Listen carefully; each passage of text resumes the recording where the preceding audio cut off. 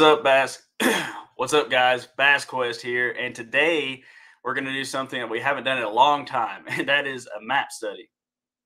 What's up, guys? Bass Quest here, and today we're going to do a wintertime map study on Lake Chickamauga. It's been a long time since we've done a map study, and it seems like that's some of the content that I've done that people really resonate with, and I'm constantly getting messages asking me to do that again. And so today backed by popular demand, we're going to do a wintertime map study. This will help you right now find and locate the fish that you want to catch on Chickamauga Lake. So here we go.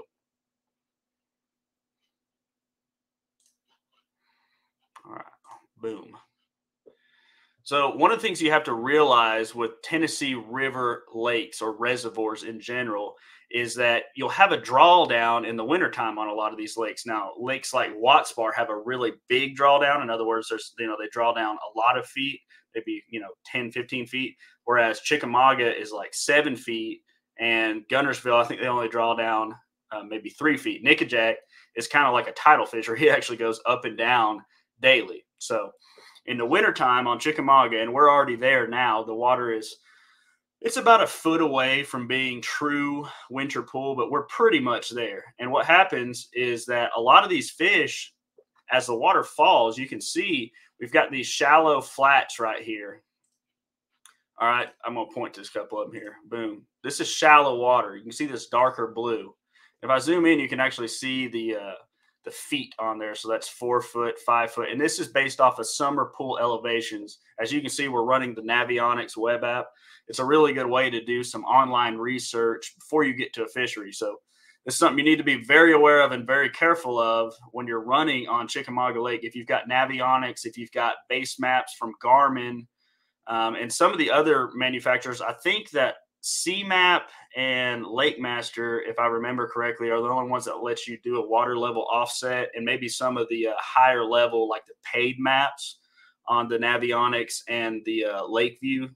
So just keep that in mind. If you have a base map on here, in this case, if you were running this Navionics, you would have to understand that you could run in this area, but you could not run in this area. So that five foot will be dry land, but this, let's see, nine foot right here would be like less than two foot of water, and the seven foot would be inches. Okay, so you could really bang up your props. These are hard bottom areas a lot of times on these outside uh, shell bars, and you're going to have like shell and rock and stuff. So you can knock a lower unit straight off of there and ruin your entire fishing trip in just a heartbeat. So that's something to keep in mind. So with this water down low, what's awesome about it, what I love about it for wintertime fishing is that it congregates the fish. So a lot of this water is no longer usable water. So probably a really good um, way to show this would be to run upriver because you have upriver, you have a lot um, shallower. If you look at this, see how the backwaters are very shallow on average, you know, the deeper parts of this is Moon Slough right now, deeper parts are in the 10 foot range. Mud Creek, the deeper areas are in the 12 to 15 foot range. So if you take away seven foot from that, all you've really got is like a small channel in most of these areas, like Gillespie. You can see all these backwaters. This is what you watch if you're watching tournaments on Chickamauga. You know, John Cox when he's up there, you know, flipping for uh, throwing a weightless Senko and throwing a swim jig for spawning fish and shad spawn fish. He's back in these kind of areas. All right. But in the wintertime, those don't play. So all the fish that are in these upper water back areas or even in the back areas on the middle of the lake. So if we go down here, look at the size of this flat right here. None of that, or for the most part, most none of it at all is viable water for the fish during the winter months. So what it does, it forces those fish to find new areas to inhabit so that they can find stable water. In a lot of cases, um, that's going to be the actual main river channel. And so, what I tend to look for uh, if I'm wintertime fishing and I'm thinking about where I want to uh, find these fish, I'm going to look at, first of all, if I zoom out here, bends in the main river channel. If you look at this light colored blue, all right, that's our main river channel. That's the original channel before this uh, reservoir was flooded and became Lake Chickamauga. This is the Tennessee River right here. All right, these bends, if you think about it, that current will impact along those bends there. So it's going to push up against the sidewall of the bend and it'll it'll create a flush. In other words, it'll push more current in that area, and it'll also when you have current um, pushing up against something. So in this case, you know the 45 degree or so um, wall of that channel. What will happen is it'll push water back and it'll create an eddy. The same concept applies if you're trout fishing on a stream and you've got this boulder sitting right here. So you've got a teardrop shape. So say the boulder's right here. The hat's the boulder. How about that? Boom. All right. So in the front of this, where the current is coming, let's say the current's running this way, it's going to form a bubble. And that bubble is going to form back and it's going to trail off like a teardrop or a comet behind the hat. So most people think about fishing this area. If the current's running this way right here, they think about fishing the area on just the back side of this rock right here. But there's actually the most aggressive fish often are on the front side of this. And that's why um, during the summertime, oh, hold on, during the summertime, a lot of, let me get back to it here. These fish will sit on main lake islands. Let's run find one. All right, this is low key island right here. So when you're fishing these underwater islands, these summertime ledge fishing spots, rarely do you see anyone fishing the backside of it. Most of the time, they're fishing the front. That is the front side of the eddy. That's where your most aggressive um, fish will be located. So the concept applies when we're talking about a bend in the river channel. The same thing applies right here. As the as the current pushes up against this sidewall, this real steep sidewall, it's going to push against it and push out and create a dead water space. That allows those fish to draft current, not work very hard, and to look up and out, which is a lot of what these fish are going to do all winter long. They're going to be looking out there for these balls of shad to be pushed down the main river edge. Because as it gets colder, especially if we actually have prolonged winter temperatures, um, what will happen is a lot of the fish that are in the shallower backwaters, which wait, they will stay back there, you know, in that zero to 10 foot range if we have stable water that's in maybe the mid 40s to 50s. But if we get prolonged cold temperatures, what will happen is those areas, those backwater areas, such as like this secondary channel would be an example, or this pocket that'll have a little bit of water in it. You know, these kind of areas are going to have a lot of bait fish in them.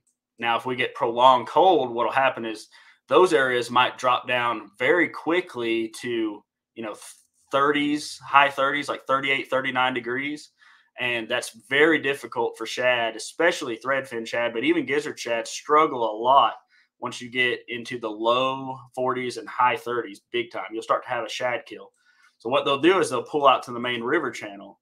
And in the case of the Tennessee River, um, you can see we have a lot of deeper water. But if I go up to the very top, let's let's look at Watts Bar Dam. Look how deep the water is right here. All right. If you look right here, 76 foot, sometimes even 80 foot. All right. So when this water is getting pumped out of these turbines right here, it's getting pumped from that very deep pool on the other side of the dam. So it's very deep, very stable water, and then it's getting oxygenated as it goes through the turbines and pushed down. So as it feeds down the river, what you'll notice is that the, the main river temperature, I'm way over here. All right. the main river temperatures, there we go, boom, are going to stay relatively stable. Um, what you'll, especially at, as you go higher in the river system, um, they're going to stay a little bit higher, you know. So even if it's brutal cold, brutal cold for a week, a week and a half, the main river temperature, um, say north of 60 Bridge right here, it's very rare that you see the surface temperatures get below about 44, sometimes 42.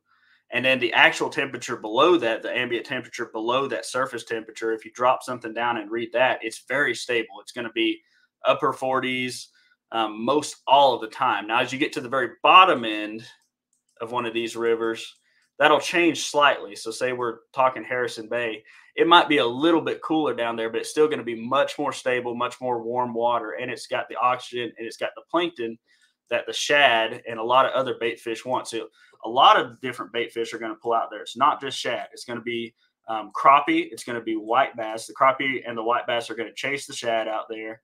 And I noticed that a lot of big bluegill it seems like as we get that drawdown, one thing that happens is the grass will start to die out. And so you'll have these last little strands of grass. And as soon as they, you know, turn brown and they're no longer viable, what'll happen is the bluegill and your panfish um, species will pull out there as well. So basically, for the you know apex predators of the river system here, everything that you want to eat is now living on these outside edges.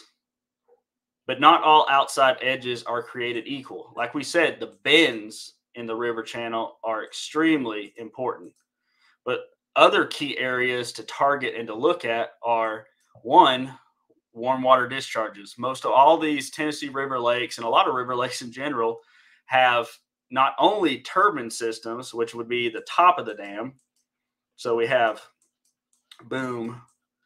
This is going to be around the turbines. This is going in Nickajack Lake. Around these turbines here is always going to be stable water. It's going to be highly oxygenated, and it's usually going to cycle in a very small area and it, there'll always be fish there and they'll always be biting. These fish right here are the least susceptible to major cold fronts and weather changes. All right. And lake level changes for that matter. All right. The next least susceptible fish to any kind of changes are, see where I'm at here, power plant fish. So you've got warm water discharges, um, power plants, nuclear power plants, all up and down the Tennessee River system and a lot of other systems where these things generate and where they push out warm water, it's almost always on the main channel. So you've already got stable water, and you combine that with the warmer water that gets pushed out of there regularly. And what you're going to find is that a lot of fish are going to hang out around those areas. The bait's really going to love it. They're not as susceptible to major cold fronts and such. All right, so now beyond that, the next group of fish that I'm going to be looking for when I'm talking these main river drops and stuff like that is going to be the fish on the bends, which we already talked about the bends and stuff. But those fish, because they are in the stable water, they are going to be not as susceptible to all these changes and fluctuations. They can slide up and down in the water column depending on how cold it gets, and they can always look up and out for the things that they want to eat. So beyond that, what are we looking at now? What is another drawing area that's going to pull or congregate the bait, which is going to congregate the fish that we want? That's going to be ditch mouse and creek mouse. So you can see we're right across from a Sequoyah discharge here. This is coming out of Skull Island area, and these little ditch mouse, you know, it, it you could technically call that a creek mouth, but there'll be a lot of different ones that come out and where they meet this main river edge is always going to be a key area. Now we can extrapolate that. So say here, this is Soddy Creek. This is a major creek. It's a little bit different than one of these smaller branches. But if you look here, see how narrow that creek channel is as it pushes out? These are going to be key areas where fish are really going to stack up. And the same thing applies when you go upriver when you go upriver here, then you've got a lot of smaller tributaries like this. This is, I believe that's Mud Creek. Yeah, that's Mud Creek. All right. So if you look at that one, see how small that is? That little outlet right there. Everything as it funnels in and out, especially if you're getting uh, warm temperatures and then cold temperatures and then warm temperatures, which we've had a lot in the southeast the last few years, um, where it'll get really warm, you know, like in the 60s for a few days and it's back down into the 20s and 30s. We're in one of those cold dips right now where it's back down super cold. And so as soon as it gets warm, a lot of the bait and a lot of the uh, fish will flood into here, into these backwaters. And then as soon as it gets cold again and it gets uncomfortable, they're going to push right back out again and get in the current.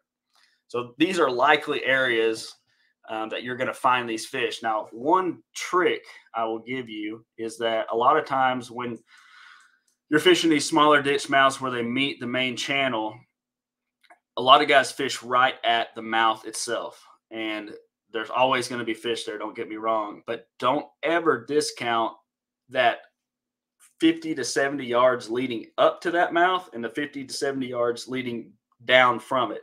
There's something special about that. And I think what it's, I personally think that it has to do with fishing pressure.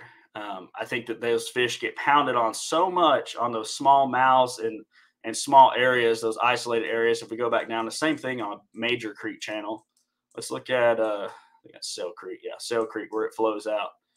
these fish are so used to getting harassed around these actual mouths that what you'll notice them doing, and they do the same thing on ledges in the summertime, like you know the island over here.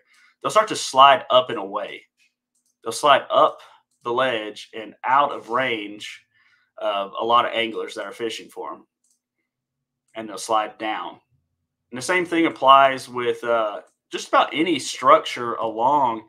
So one thing that you'll notice on these uh, flats here in the wintertime is you'll have uh, duck blinds and stuff like that, or maybe there'll be exposed brush um, that somebody had dumped in there, and now the water's low enough that it's actually exposed and creating a current break. You would think in that case, like if I went right over here and I saw a duck blind, you would think fishing or flipping right onto the duck blind would be where you're going to catch your fish. But that's rarely the case for whatever reason. Most of the time, those fish are going to be like 10 to 15 up feet above it or like 10 to 15 feet below that structure. And that applies all the way across the board to any of these circumstances, which is just interesting to me. Let's see. Other things to look for, viable patterns for wintertime fishing. These flats are still going to play, especially flats that have a deeper secondary channel. Sale Creek is a great example of this. So, where it comes out of the main creek here, the main creek arm. You can see here, this lighter colored blue, this is the main channel. But we've also got some lighter colored blue here. So if we zoom in, there's a secondary creek channel that pushes up. So when we have a lot of current, um, during the summertime, the water would flow across the whole flat. But in the wintertime, on the upper ends of these flats, it's so shallow that the water, it's some of it's dry land for one, and then some of it's so shallow that the water from the current in the main river can't even wash over it. So in that case, what will happen is it'll come down here and it'll cycle through these creek mouths and actually push backwards up these secondary channels a lot of times. Another example of that on this lake is see here, right across from Chester Frost. Boom, Chester Frost. Here we go. You can see this secondary channel that leads like from Harrison Bay area all the way to the backside into Paradise and and Hideout Slough and all those places. But these secondary channels, the, the current will flow through them, and a lot of fish will just hang out in these areas, whether it's long tapering points, such as this one right here. Oh man, leading into uh, paradise, or it can be the little bends and pocket mouths along those areas. So you can see there's kind of a trend here. We're looking for areas that the, the fish can slide in and out quickly. Now, that doesn't mean they won't be in inches of water because in the right situation, sometimes even in the extreme cold, like you'll get there and it'll just be a brutal, brutal cold morning in the 20s. And you're thinking, okay, these fish are going to be set up, you know, suspended out. They're going to be deeper on one of these lips, maybe main lake on one of these areas. And what you find out is the first cast that you make up into the dirt, you make two cranks and you catch a fish. So sometimes because that water tends to be more stable, and if the water is able to flow, that stable, warmer water is able to flow into those shallow areas, the fish will pull right up into it, and the bait will pull right up into it as well. So you got to keep them honest all the time. There's a lot of you know misinformation when it comes to this as far as you know the fish get out and they get dormant in the wintertime and they get tougher to catch. Like some of the most aggressive um, feeding frenzies i've ever seen some of the most ag- aggressive top water activities that i've seen have been in the winter.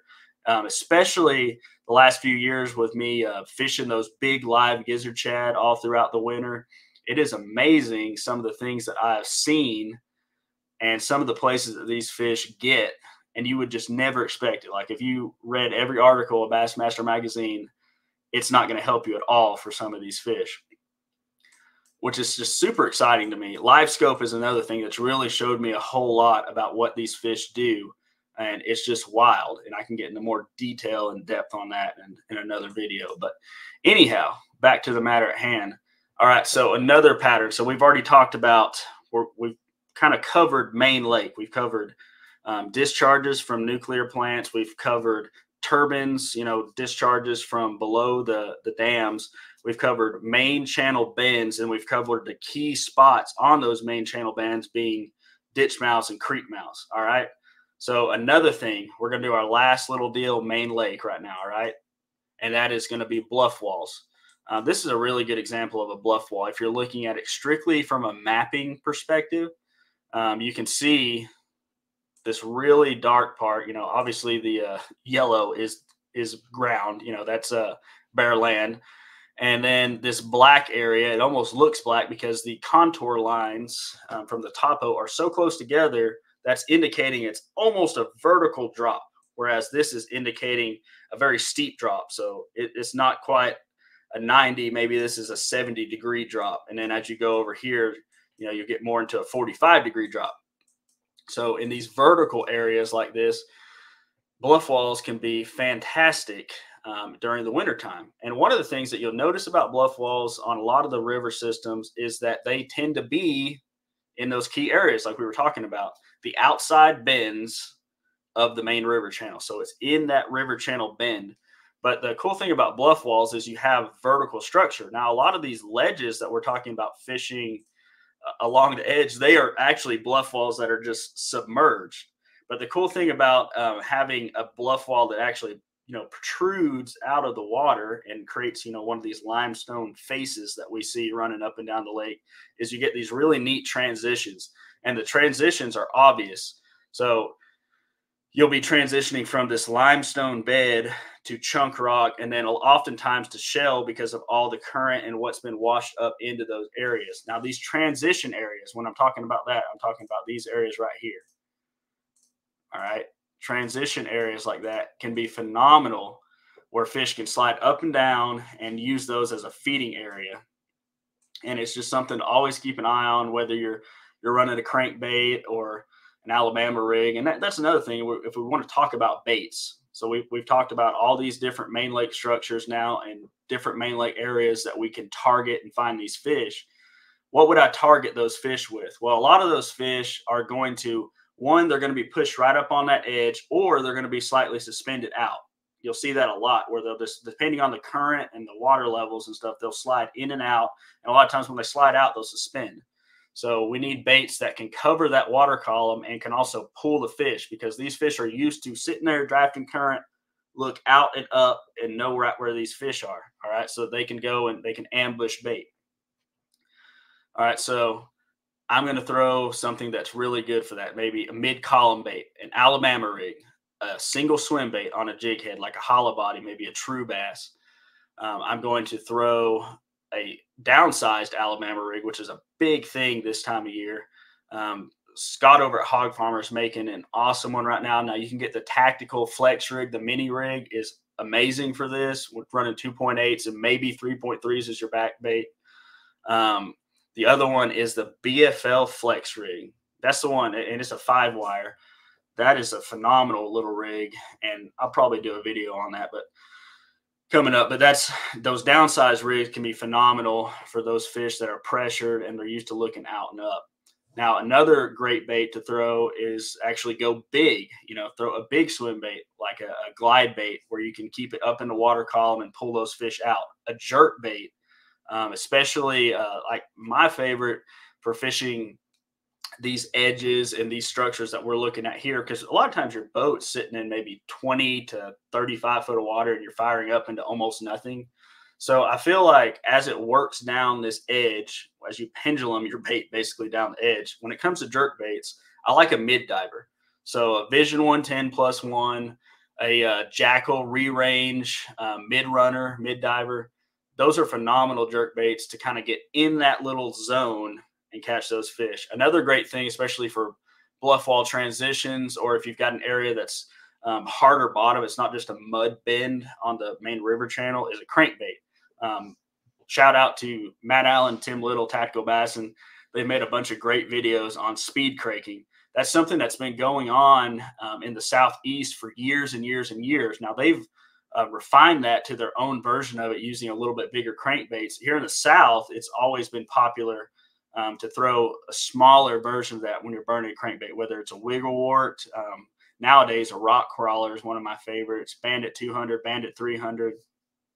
Just those smaller, we call them a uh, small body crankbaits. Um, so that's a great way. And those things run usually between somewhere around six to 12 feet, DT8, DT10 those are perfect um, to target those fish because a lot of times those fish they're not sitting deeper than 14 15 feet most of the time whether they're suspended or whether they're up against the edge. So that's a great way to target them um, another thing another bait that i would use to target these fish would be a jig because when you're starting to work down these areas especially a bluff wall you're going to run into wood. And so having a finesse jig with a finesse trailer on there is a phenomenal way to target those fish and have a slower presentation I also use a Texas rig if I really want to downsize, and I'll just put a small, unobtrusive plastic on there. One of my favorites is a Zoom Speed Craw, just a regular little Ultra Vibe Speed Craw, natural color, really lightweight Texas rig. And the jig and the Texas rig, I'm not fishing on heavy line. A lot of the stuff I'm doing this time of year, even my Alabama rigs, I'm throwing on like 15 pound test. I'm trying to keep that line diameter lighter so that I can work the bait more naturally in the current for one, but also draw those strikes. A lot of times we tend to get a lot cleaner water that time of the year, so it's important to be able to draw that bite, especially from that big fish. Even my glide baits, I'll, I'll run like 20 pound fluorocarbon on those. Let's see here. I'll give you a couple more finesse ones. Um, and these are t- techniques that are not really often thought of as a Tennessee River technique. It's more of a Highland Reservoir technique. One is tight lining. Um, so tight lining on a Highland Reservoir, like it's popular on Cherokee Lake, Norris Lake, and they'll take a small crappie jig, like a little Bobby Garland, on a you know an out an eighth ounce head, maybe a three sixteenths or three thirty seconds ounce head, just a very lightweight little crappie sickle hook, and they'll throw it out there on super light line, maybe four pound test, and you throw it out and you pendulum it down one of these breaks right here. Okay. You, you pendulum, you throw it and you're just slowly reeling it and barely twitching your rod tip. You want that rod tip to just barely be twitching as you're reeling, and it hovers and pendulums directly down that break right there. And it's just something that gets those fish going. Now, another version of that is a float and fly. It's something, you know, a float and fly is basically like if you've ever crappie fished with a jig and a float, it's pretty similar to that. Um, it's a lot more refined in a lot of ways to, in order to catch big bass and things, and also to fish deeper. I typically use a slip float on mine so that I can adjust the depth without having to have like a custom eight foot rod. Um, I usually use a seven six, like a two power medium light. Tends to be my setup, um, but you can run below that cork, you know, you can run yourself a jig, or in my case, a lot of times I use an upsize crappie minnow, which for me is a Zoom tiny fluke or a gulp three inch minnow. And I actually use a gulp three inch minnow or a Zoom tiny fluke for my tight lining as well. So you can imagine it's just slightly upsized from what people would normally use um, for those panfish and for smallmouth on highland reservoirs. And I've caught giant ones doing this, guys. I'm talking like six to eight pounders in these same areas that we're talking about, especially if the water's clean, especially if you've got a cold front and things are tough out there, you can pick that up. I personally still like to use light line. When I am using a float and fly, I want to be around that six pound test. If I'm around really big fish, like I'm super confident with Sunline, FC Sniper, seven pound leader. I'm super confident I can land anything in the lake on that. Um, now, if I'm doing the tight lining deal, I'm going to go monofilament and I'm going to go down to four pound test. And I'm super confident if with, with an ultralight, you're talking like a trout setup, zero power rod. Um, I would, I prefer it to be longer. Um, I feel like you have a lot more leverage. You get a better hook set and you get a better play on a fish with super light line when you have a longer ultralight. So seven, six minimum, but I would prefer to see that ultralight in like that seven or sorry, six, six minimum, seven foot is where I would like to see it for a zero power ultralight rod.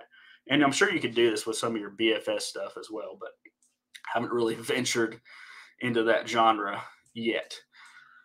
All right, so now, last but not least, we're going to talk about some of the uh, fish that are resident in the creeks. Now, some of these major creeks, you know, especially like uh, Chester Frost, we'll just use that as an example. A lot of these areas, what you'll find when you have a deeper creek, in a big area like this, if you look at this and we cut this off right here, Chester Frost alone is the size uh, of a good sized lake. All right. And a lot of times, what these areas will fish like is their own individual body of water, especially as you get further down away from the very top end of a reservoir, the north side of the reservoir, down to the lower end. Um, as you get down there, you start to lose some of the effect of the current. As you can see here, the the lake is so wide that a lot of these areas, especially like Harrison Bay area, where the, there's a channel over here, some of this stuff is just not really affected all that much by current. So if you got a day that's like a light current day, maybe a weekend or something, and they're not going to be running good current, some of these fish upriver might not bite well, but some of the fish in these wider, lower flow areas can bite really good because sometimes it's just based off a wind current. So when I get down into these areas, I'm going to be looking for birds, guys. Um, in the wintertime, I tell you, probably some of the best guys that I know of that target birds and probably the best at it is going to be the, the Wishing I Was Fishing boys. Like when you're talking Dylan Filardo and Tanner Hustep, like those guys know how to chase birds. And that's what they do. They, they, they sit around the low end and they know exactly what to look for. The birds that are not just diving on loons, the birds that are not just, you know, fake diving in order to get ready for a roost. Like you, you have to know what you're looking for when these fish or the birds are diving in like a five gallon bucket and just plowing into one area. And you got to get up right on plane right then and run to them and you can catch these fish. Now, sometimes they'll be going out in the middle of nowhere, guys. Like th- there will be nothing there, nothing beautiful, nothing, no structure, you know, like not on a little edge like this or out on a hump they'll just be in no man's land and the birds will start diving and get out there and like the fish that you want to catch are just suspended under these birds and you can wear them out. Um, a lot of times the catalyst for that is striper whether it's white bass or true striper. These fast fish and birds such as loons loons are super fast they're able to corral bait in these areas and the bass will take advantage of that the catfish will take advantage of that the slower predators they'll get under those and kind of join in with the crew there. And as, as long as those other fish can, and birds can keep those bait penned up and corralled, they've got a great little feeding frenzy that they can go through there. So following birds in these do nothing areas and in the back of these major creeks can be huge. Um, beyond that, what you'll notice in the wintertime is uh, a shout out again to uh, Tactical Bassin on this one. Um, they're the ones that taught me this is that these fish in the wintertime, they'll get on do nothing bottoms, like in, in the backs of these flats where there's hardly anything going on. Now, Chester Frost has a little bit of structure, but in a lot of these areas, if you get up here in the shallow water on these high spots, there'll be hard bottom. And we associate that as bass anglers with, you know, good fishing, hard bottom shell beds. That's good fishing.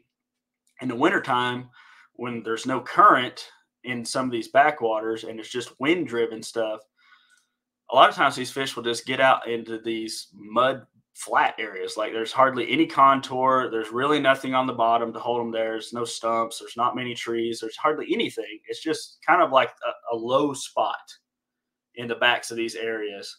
And for whatever reason, they'll hang out there and they'll congregate in those areas. But what you'll notice is it'll be close to an area where they can pull up and, and actively feed. Okay and it'll also be in an area where the wind naturally or what little current is in that area will naturally cycle the bait to them. So that's the catalyst. Like they don't want to be cruising around. A lot of these fish are not even though we do have like nomadic pelagic style fish in these lakes. A lot of them you know they're not interested in covering miles and miles and miles. Now they might cover miles and miles because they never stop swimming especially big ones. They don't stop swimming but they're going to cover it in a small area. Like they'll have their own little house. And the backs of these creeks can be a great place to look as well. Um, and then, of course, the, the very last couple points as you're coming out of any of these creeks can be really good, not just where it meets the main river channel. So you can keep those fish honest if we have a few warm days or if you know the bait starts to congregate in the middle of nowhere, you can find them on these little secondary areas as well. So now we've covered what to do main lake. We've covered what to do on flats. We've covered what to do in all these different situations and in the creeks. Um, let's see here. I'm trying to think of the last bit of advice that I would give to you. Um, one important thing for me is I'm always looking at the flow and I'm looking at the water level.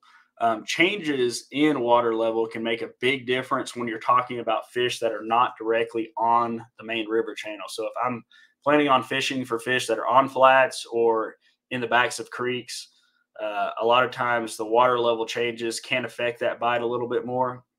If I've got an extreme weather event that comes through, maybe I've got a lot of dirty water that's pushed into the fishery. Like we had a huge rain the other day um, over the weekend, and now we've got a big cold front. So that's kind of a recipe for tougher fishing, right? We've got cold, dirty water.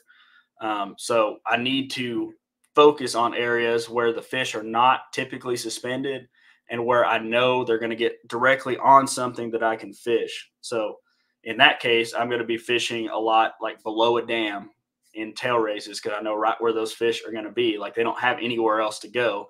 They're going to get up on these uh, banks where I can crank them, or they're going to get right around the turbines around the actual dam structure or big man-made structures in that area, and I can fish for them. Same thing applies if I'm fishing the main lake. You know, uh, when we're talking about bluff walls right here, that's a great place to target when the water's dirty. Um, pull out a big spinner bait, pull out a uh, crankbait, and target those areas where those fish will suck directly up onto there. And then the other thing that I do in that case, if I am getting that dirty water, is I'm going to flip. I'll flip wood down these same kind of areas and areas down the main river edge and on the bends. I will flip those as well. But that's that's just a really good starting point for you. Again, that's going to be more stable water. Remember, guys, more stable water, warmer water is going to be out towards the channel when you have current. Okay. It's going to be in that deeper zone. So if if I do get a major cold front or I get that cold muddy water, I'm going to be focusing more main lake.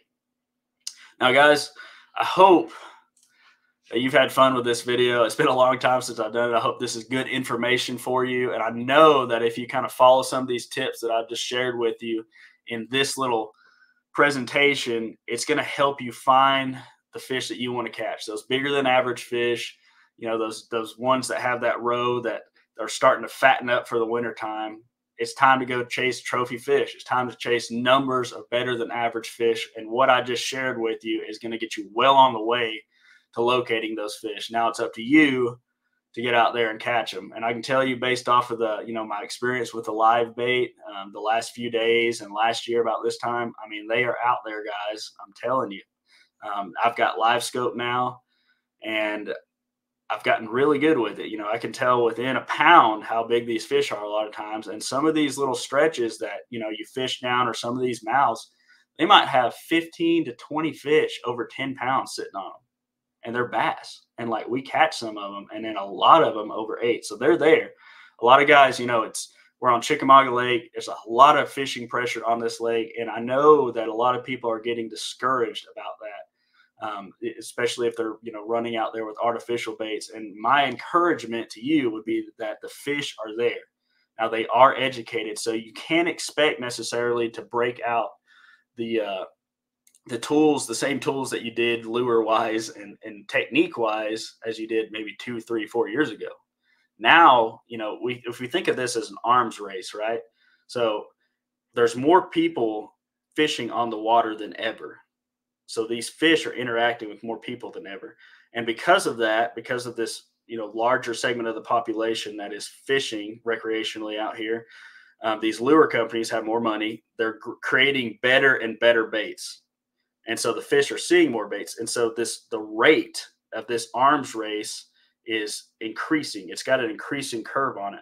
I actually had a conversation with matt allen about this the other day. We had, had a long conversation nerded out about this but just the uh the velocity of this arms race the velocity of the way the fish are learning because fish learn generally generationally. And we've been preaching catch and release for years and years and years so that generational knowledge is being passed on very well through the gene pool of those fish. And so we're educating them at a faster rate and they're getting more education because there's more fish that learn it and live than ever before. And I think, um, you know, California was kind of the start of all that. And so now a lot of their fisheries have turned into finesse fisheries.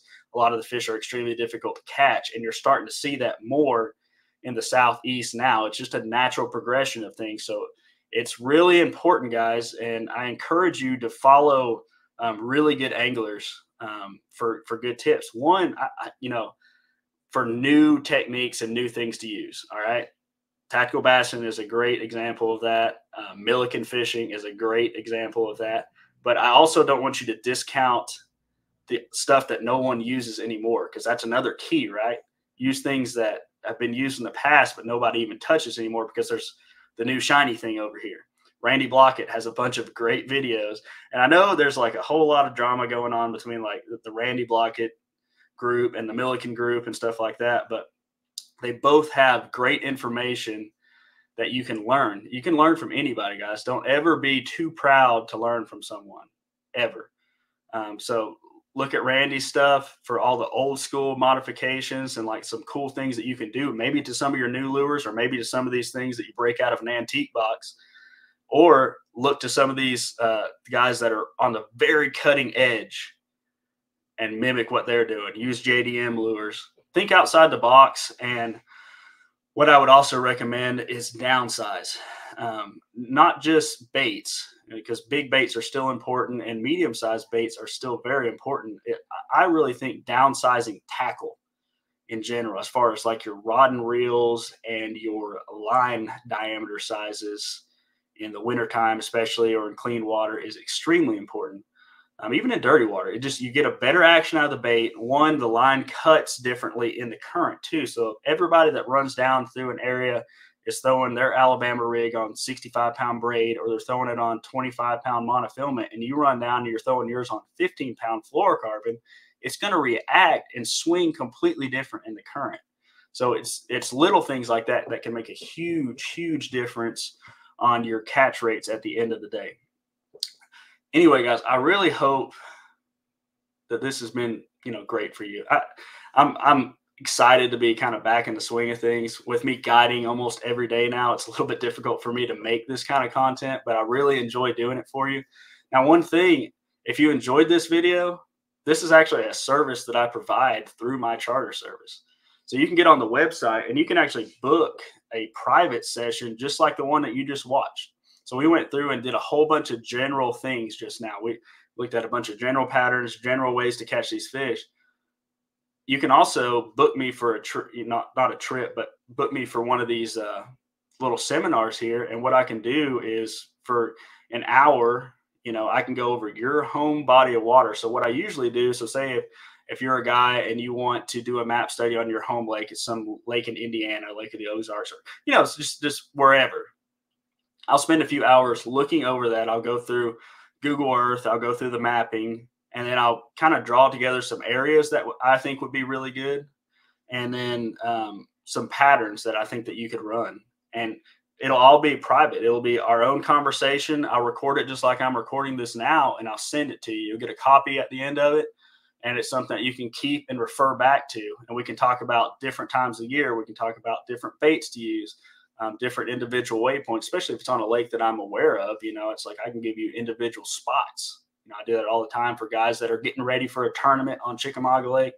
They'll call, they'll do one of these little webinar little things with me, and uh, I'll give them some really good locations for that tournament specifically where I think that they can get the job done. So it's just really neat. It's something that I think I can provide for you. Now, that doesn't mean that I'm going to no longer do, you know, public map studies for everybody. I don't want you to think that. I'm not trying to hold back that information.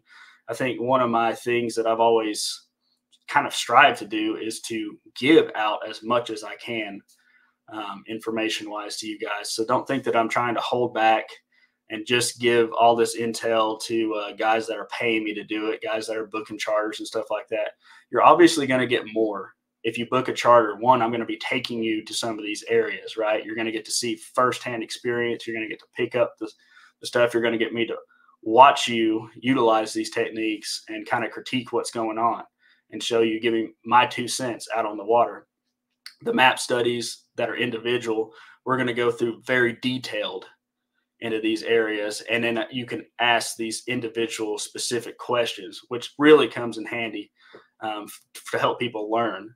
But I'm not going to ever stop um, just giving a lot of this information out. And I think that if you know, if nothing else happened, if you don't ever book a trip with me and you don't ever do a map study with me, if you take the information that you just watched in this video, you're still going to be very successful. But anyway, guys, thank you so much for hanging out with me, tuning in today. And if you made it to the end of the video, kudos to you. Remember to like and subscribe, share it to all your friends, unless you don't want them to, to know about this stuff. but I hope this week finds you out on the water, guys, and I'll catch you there.